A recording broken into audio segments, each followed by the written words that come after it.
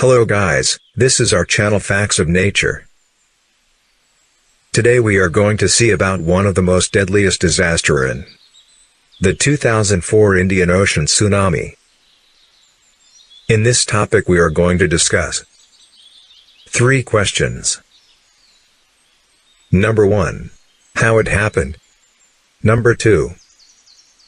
What was happened during earthquake? And number 3. What are the steps taken to overcome?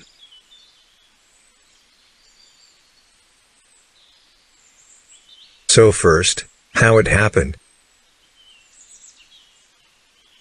The 2004 Indian Ocean earthquake and tsunami occurred at 7.58 in local time on 26 December.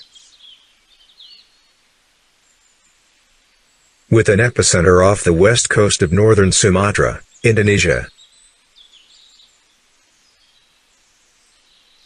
It was an undersea megathrust earthquake that registered a magnitude of 9.3 scale. The earthquake was caused by a rupture along the fault between the Burma Plate and the Indian Plate.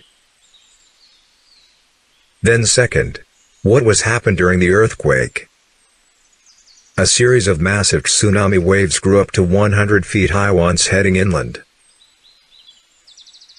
After being created by the earthquake along the surrounding coasts of the Indian Ocean were severely affected. Tsunami killed an estimated 227,898 peoples in 14 countries. It making one of the deadliest natural disaster in 14 countries. Then, the third one. What are the steps taken to overcome? The level of damage to the economy, resulting for the tsunami depends on the scale. The two main occupations affected by the tsunami were, fishing and tourism.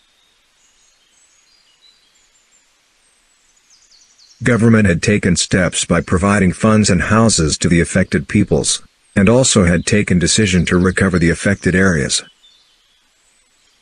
This is my first video, hope you guys like my video. Thanks for watching.